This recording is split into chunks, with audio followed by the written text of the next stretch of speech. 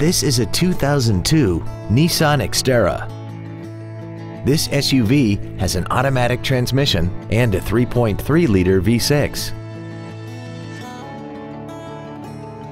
Features include a supercharger, a limited slip differential, cruise control, a CD player, a leather-wrapped steering wheel, a driver airbag, rear seat child-proof door locks, a pass-through rear seat, full power accessories, and aluminum wheels.